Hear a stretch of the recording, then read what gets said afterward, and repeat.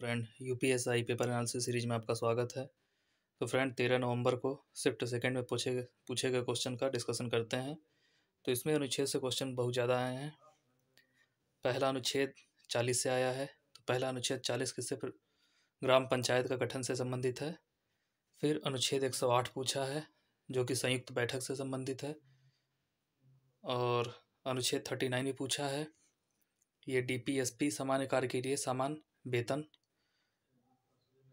और कैग की नियुक्ति से पूछा है कैग की नियुक्ति कौन करता है?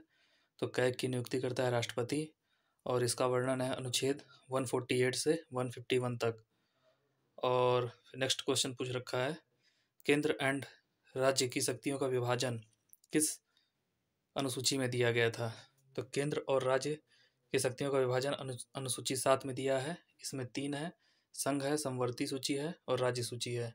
और ये लिया कहाँ से गया है? यह है कनाडा से। और ज्ञानपीठ पुरस्कार पूछा है। प्रथम ज्ञानपीठ पुरस्कार कौन पाया था? तो प्रथम ज्ञानपीठ पुरस्कार मिला है मलयालम भाषा में जी शंकर कुरूप को। अगला क्वेश्चन है मौलिक अधिकार से। मौलिक अधिकार का वर्णन अनुच्छेद बारह से पैंतीस में।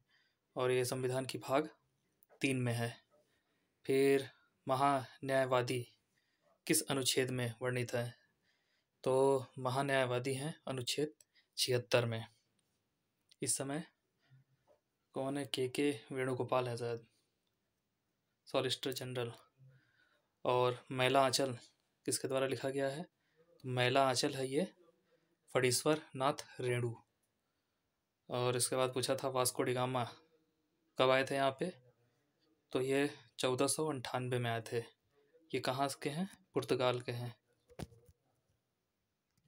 फिर अगला क्वेश्चन पूछा है, अनुच्छेद एक सौ पैंसठ, राज्यों में महाधिवक्ता, जिस तरह केंद्र रखता है, महान्यायवादी उसी तरह राज्यों में होते हैं, महाधिवक्ता। तो अनुच्छेद वन वन सिक्स फाइव। और नेक्स्ट क्वेश्चन है, राष्ट्रपति की शक्ति किस अनुच्छेद में वर्णित है? तो राष्ट्रपति की शक्ति है अनुच्छेद तिरपन में। इसी प्रकार पूछा है अनुच्छेद पंद्रह चार में क्या है? तो अनुच्छेद पंद्रह चार में क्या है? आरक्षण। आरक्षण का वर्णन इसमें किया गया है। अनुच्छेद पंद्रह में है किसी के धर्म, जाति, लिंग के आधार पर आप भेद नहीं कर सकते और अनुच्छेद पंद्रह चार में दिया है S C S T O B C के लिए और ई डब्ल्यू एस का आरक्षण। अनुच्छेद सोलह में क्या है? किसी भी लोक नियोजन में नौकरी में आपको समान अवसर दिया जाएगा। किसी पब्लिक सेक्टर में है तो सबको एक समान अवसर दिया जाएगा। फिर इतिहास का एक क्वेश्चन है, पानीपत का प्रथम युद्ध कब हुआ था? तो ये हुआ था 1526 में। फिर विज्ञान दिवस से क्वेश्चन पूछा है। विज्ञान दिवस, यह है 28 फरवरी को। फिर प्रथम न्यायाधीश कौन थे? तो हीरा लाल जे कानिया। और पंचायती राज की शुरुआत कब हुई थी?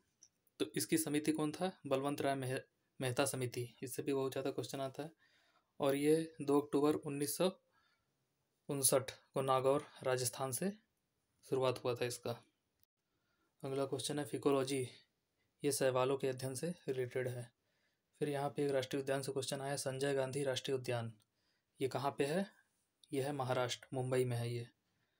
और मनुष्य ने सर्वप्रथम किस धातु का उपयोग किया था? तो ये है कॉपर, जिसको हिंदी में तांबा बोलते हैं। और रिहंद सागर, ये कौन से ज़िले में है? तो रिहंद सागर यूपी के सोनभद्र ज़िले में स्थित है। ये रिहंद नदी पर है। रिहंद आपकी सोन की सहायक नदी है। प्रथम वन्य जीव अभ्यारण्य कौन सा है? तो यह है जिम कार्बेट नेशनल पार्क। प्रथम सूफी काव्य कौन सा है? तो यह है चंदायन। ये किसके द्वारा लिखा गया है? मुल्ला दाऊद का। फिर यह क्वेश्चन पूछा, हिंदी किस परिवार की भाषा है? तो हिंदी भारोपी परिवार की भाषा है। तो आज की वीडियो में इतना ही। मिलते हैं नेक्स्ट अपडेट के लिए. Thank you for watching